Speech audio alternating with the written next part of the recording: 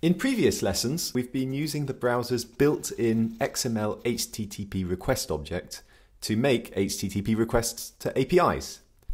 In Vue, there are many ways we can make HTTP requests, but instead of using this object directly, what we're going to use instead is a library that's built on top of it called Axios. Now, in Axios, the syntax is much simpler. To do an HTTP GET request, you simply write axios.get passing the URL. The result that you get from this is a special proxy value called a promise. And a promise is representing a value that is not necessarily known right away, since this request is going to take some time to complete in the background. Instead, it simply promises to supply the result at some point. The trick then is to associate a handler function which acts on the result once it is delivered. This can be specified in the then method. Finally, we can also specify a catch method which handles the case where the promise results not in a value, but rather an error. I'm going to demonstrate the library using a modified version of the famous Brits example that we studied in our Ajax video. This time we're going to use Axios, we're going to use bootstrap styling, and we're going to put those Brits in a table instead. First, let's check out the internal API endpoint, which is getbrits.php in the same directory, and which can be inspected in the browser or in the Postman tool. Just as in the Ajax video, the API endpoint gives us a list of Brits that we can iteratively render in the page. What I'm going to do now is create a Vue instance in the usual way, mounting the main div element with ID app.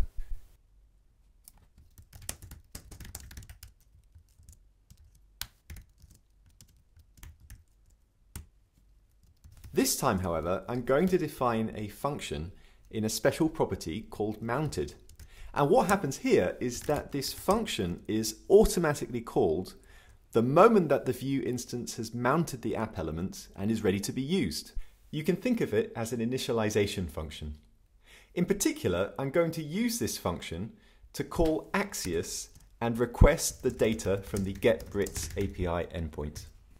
As Axios is a third-party library, first I have to go to the main project page and get the CDN link to include.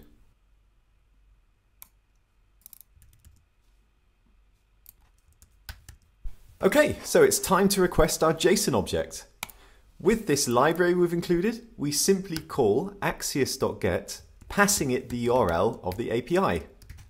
This returns a promise, which is like a placeholder for the actual result, which will only become available once the request completes in the background. To specify what we want to do with that result once it comes in, we can apply the then method. For readability, we typically specify this on the following line. Finally, we need to specify a function inside the then method. And you'll notice that we use a slightly different syntax from normal for this. Instead of writing function response followed by the function body, we use this arrow function syntax where we directly specify this single parameter followed by an arrow followed by the function body. Here, response is an object provided by Axios, which encapsulates the result of the request. I'm going to create a property in the data object to make sure I can store the result of this request. I'm going to call this property Britons.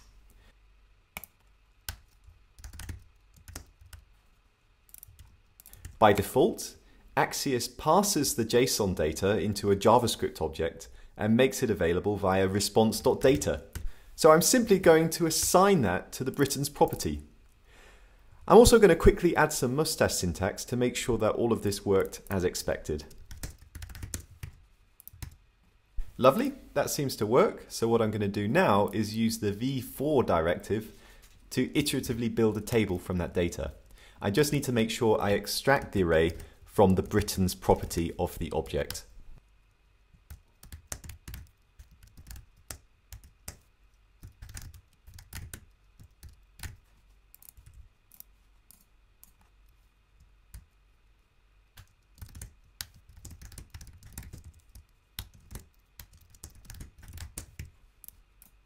There we go, we're pretty much done.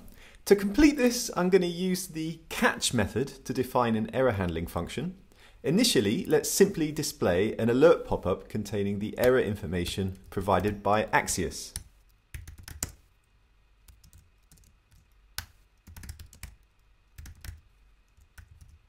Let me demonstrate it by messing up the URL of the API.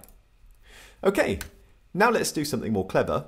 If an error occurs, I'm going to update the value of a new error flag in the data object. And I'm going to use Vue's conditional directives to display a special error message if this flag is ever true.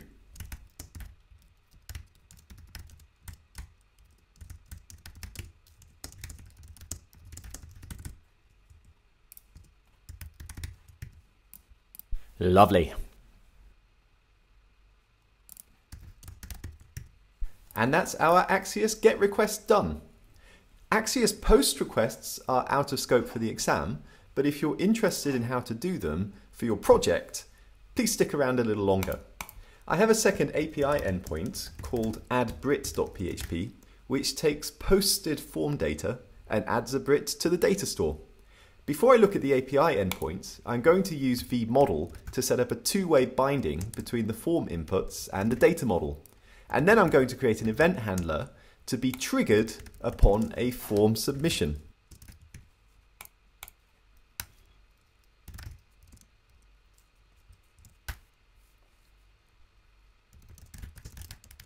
Initially, the event handler is just going to alert us to the values of full name and vocation in the data model.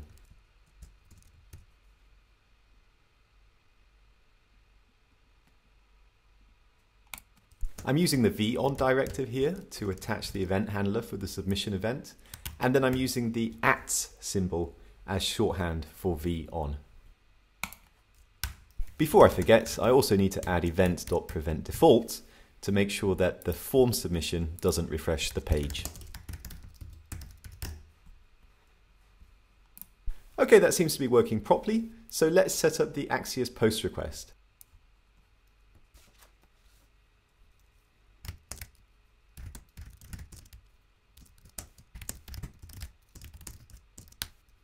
And we can do this using axios.post. We're going to pass a URL. We're going to define a function for handling the response, and we're going to define a function for handling the error case. Before we write another line, let's have a look at how the API works. And we need to do this in Postman since it's a post request. If we just post to add Brit right away, you'll see we get an error message because we're missing the data it expected in the body. So let's go and add that data, which is full name and vocation.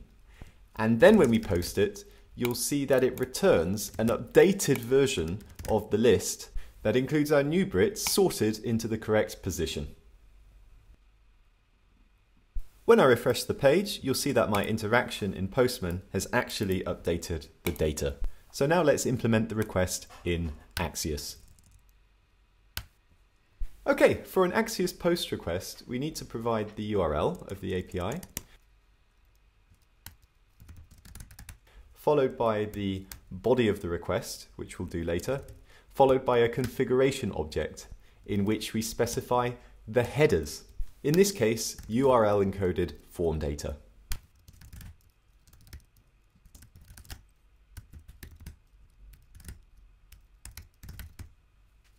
With that done, let's make sure that full name and vocation from the data model are inserted into the body of the post request.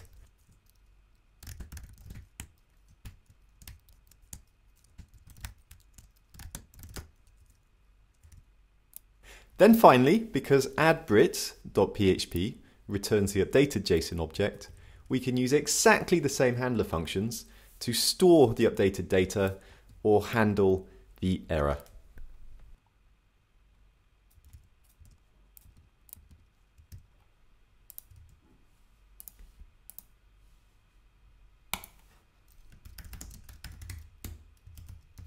As you can see, submitting Tony Hoare adds him right into the table, which is exactly what we wanted. But before I finish, I'm going to improve the usability of this a little bit by making sure that a message is displayed when the form is submitted and by resetting the contents of the form each time.